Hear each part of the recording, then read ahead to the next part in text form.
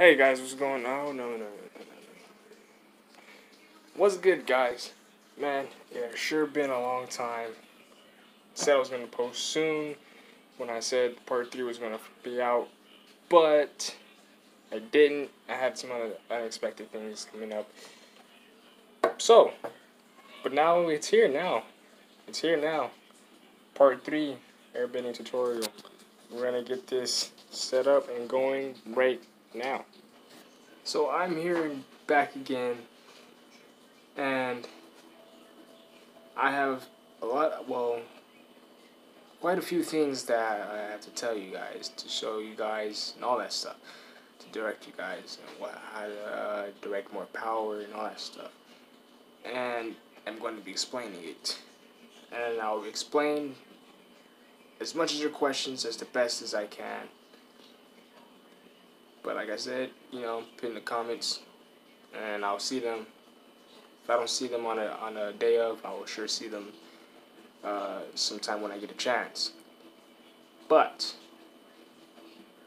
I did read a comment that's saying, "Oh hey, can you do a like or like a push like an harder object?" Well, I have the penny. You guys saw that in the first video. Now I have the, the dominoes. I have three of them here. It's like that. So, yeah. Um, somewhat a little complicated because it's surface. Uh, and it takes a lot of air and so like that to actually knock this down and stuff. But it does go down. and then I have pieces of torn napkin that's here. And small little piece of folded paper. And yeah, we're gonna sure get started to that now. Now another thing I want you guys to know, I want you guys to know this that I do not have anything on my sleeves at all. Nothing, none of that.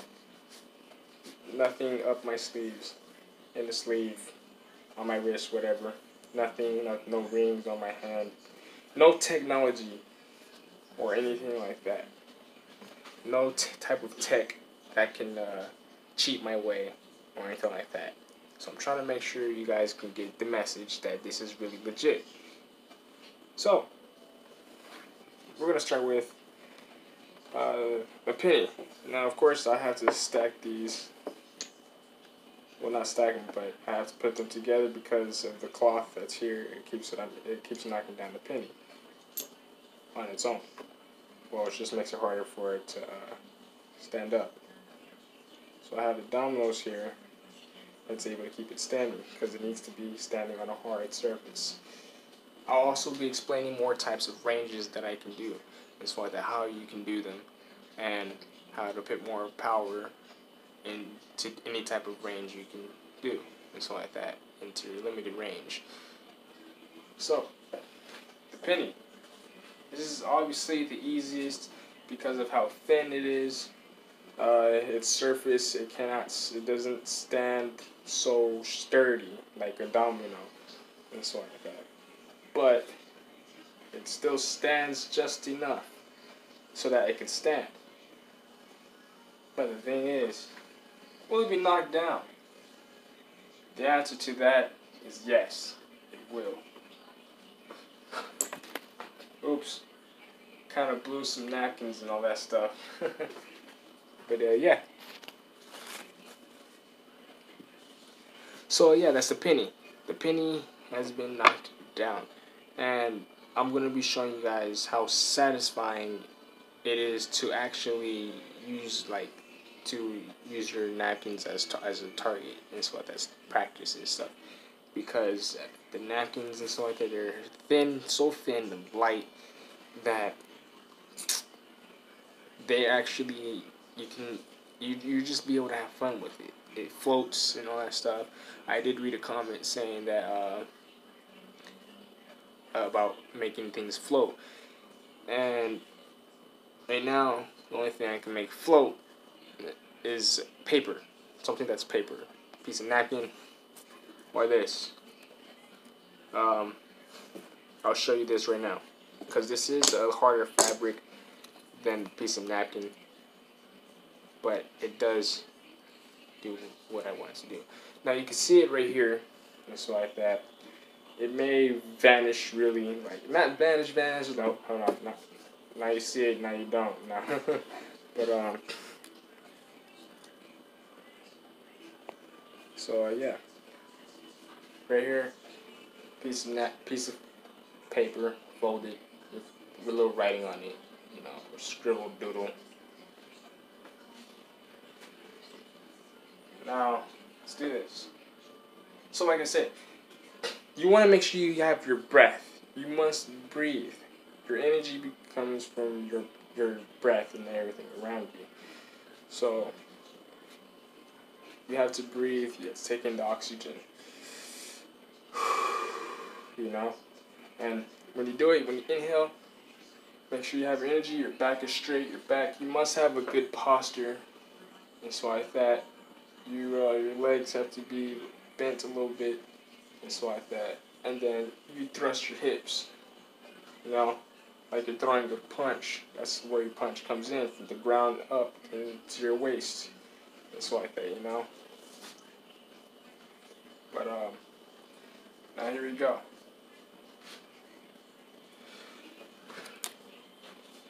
Uh, yep, that's exactly what it's supposed to do. that. Exactly that.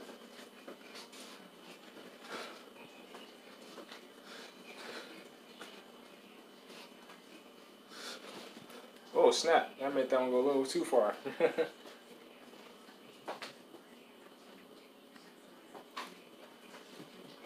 Flew all the way off the chair, off the table into the chair. And now he's napkin. Now this is why it's so satisfying to do a piece of napkin. Just like that, you can literally make it float and levitate stuff. You know, pick it up. Uh, another way I can do it is this way. You know, just make it float. There you go. Now I'm not blowing with my mouth. You would see, you would hear it, and you would see it, because I would have to really try. And even if I do blow, it will keep it grounded. You know, because I'm up here in the wind. So yeah, so I had to like kind of pick it up like I'm picking something up.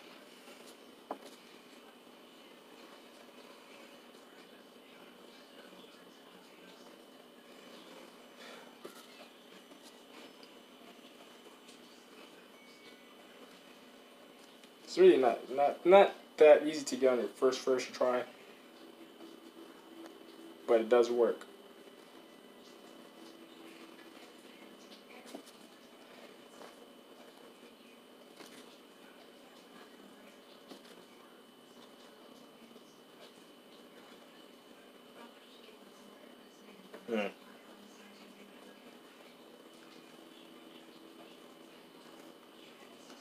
There we go. There we go. I know you guys saw that. but that's how it's done, so with that. And, you know.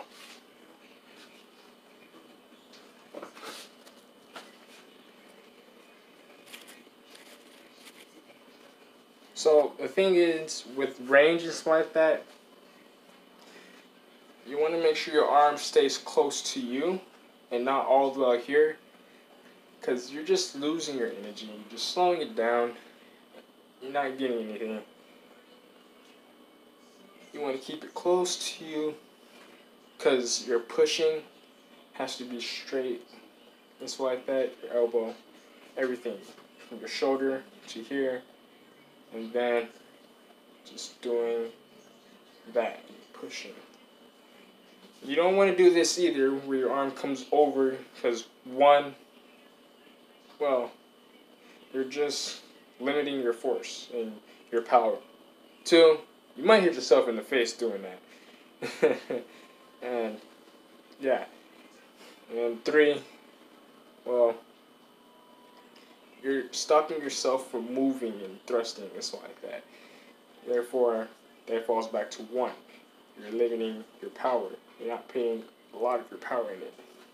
So yes, the different hand placements you can do. You can either close your hands like this, and you can see the results. You can uh, spread your fingers. What I like to do, I kind of like to spread them a little bit. You know? And then another thing you can do is that you can like do this. You can literally keep your hand like this sideways. You can, like I said, you can do this, spread them like that, but you can keep it sideways, and that way it actually aligns exactly where you want it to go. So, just like that. And also, you know, the most effective one is where you cup it. It's like that. When it's cupped like this and stuff, you're actually being a lot of force and it's capturing, you know, all that. So basically just then I actually flew all the way right there to the whole camera part. That's pretty amazing. But yeah, but along with everything, you know, yeah. And then this is my favorite to do with the napkins and other things. Just just like that. In this case, you want to keep your hands as loose as possible. And then you want to like, when you keep them loose, you want to like keep the motion like this. Because then it acts as if it's a constant wind. And the constant wind that blows, it's able to keep pushing and pushing and stuff. And then, but the main stuff that I'm doing is mainly like, think of it like you're doing gusts of wind, just like, you know? And then the constant wind, it's just pushing, just like that, you know, all the way and rolls off. It's amazing. Another piece we have is we have a domino. We're going to do a domino here. now, I may not get this on the first try, but I can do it. I can sure knock it down. But just follow the same exact, exact steps, and you get down. And you may get it down in the first attempt.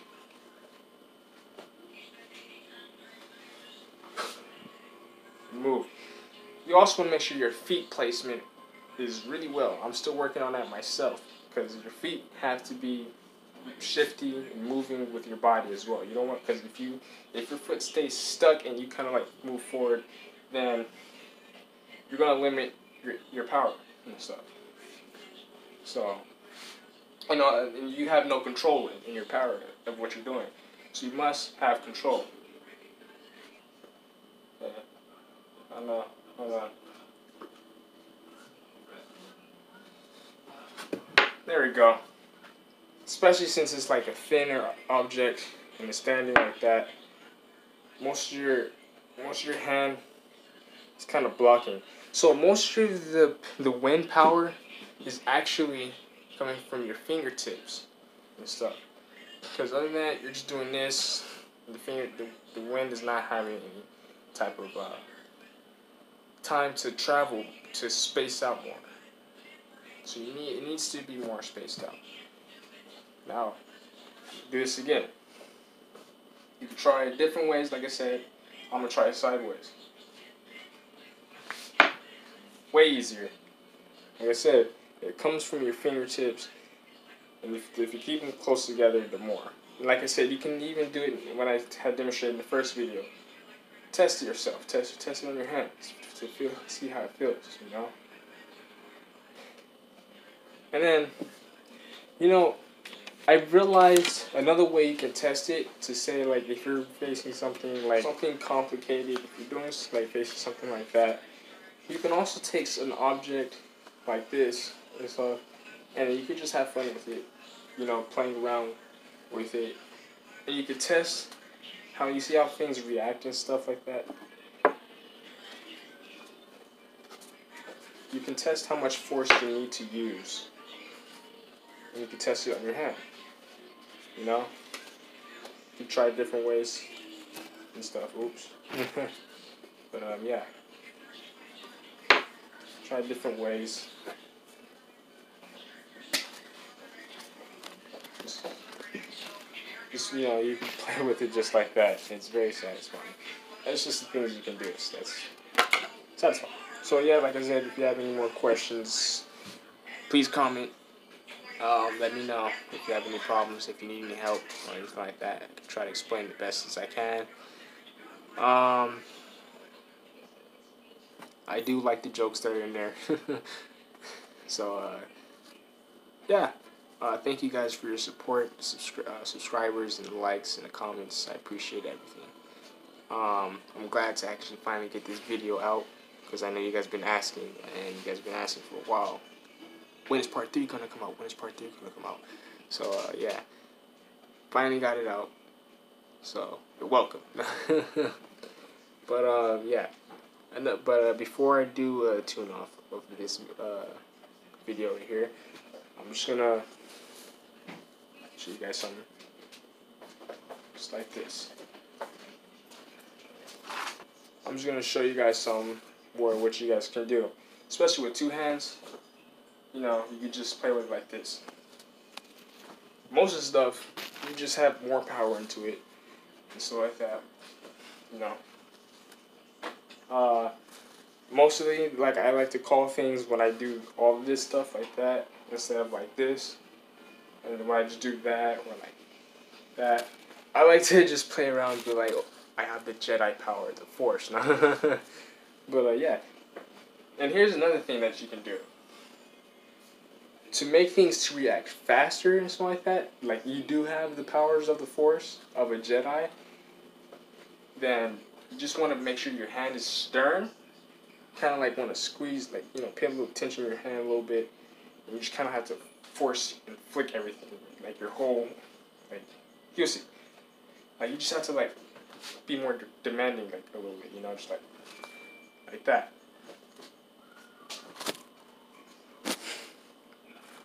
That's just what you got to do. So. it's really fun and satisfying with the pieces and napkins.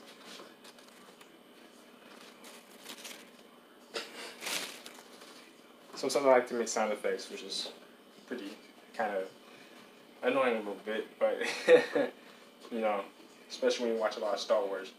And to be honest with you, I haven't been really watching a lot of Star Wars, not ever. Like I only watched like like one or two of them, and stuff like that, maybe three. And I only like watch like every once a blue moon. I'm trying to get back into it. Uh, I'm trying to finish all of them, you know, just to see the whole whole Star Wars and so like that. But uh, yeah, you know, want to be more demanding, with it. Direct your energy, power. Like I said, breathing still, and just do that and stuff. And you can just be like this. Go over there. it's it's just all you gotta you want to do. Just like go over there. Get over there. Another person had a question about how to make it like drag forward, which I'm gonna actually show you guys that right now. You want to mainly place it at the edge, where it usually works, and so like that is how I came up with it. Until you guys can figure out something else that you guys can do to make it come to you. But this is what I have so far. So you want to just like do something like that, you know. Well, but you want to at the same time kind of like I said, flex your hand like using the force and so like that. That's why I said there's like different methods to this, you know. But this in this case, the force way. So. it's kind of dancing around a little bit. You can use two hands too. Okay, I made it float, float up in the air, and that's what you guys wanted to. but uh, yeah, it still came.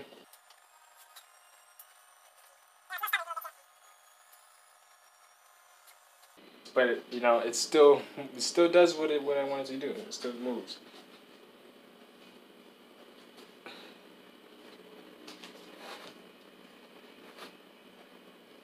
There you go.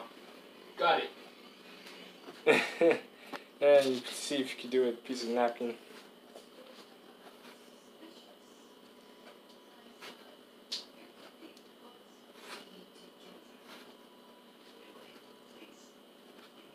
There you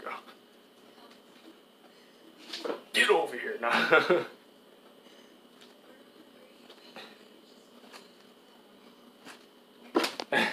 it floated.